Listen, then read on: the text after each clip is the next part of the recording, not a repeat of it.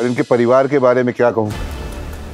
जितनी तारीफ़ करूँ उतना कम। है ज़मीन जायदाद इतनी है कि पूछो मत जहाँ तक आपकी नज़र जाएगी वहाँ तक इनकी ज़मीन है। वाह राव साहब वाह। क्या इंट्रोडक्शन दिया है आपने अपनी बहू का?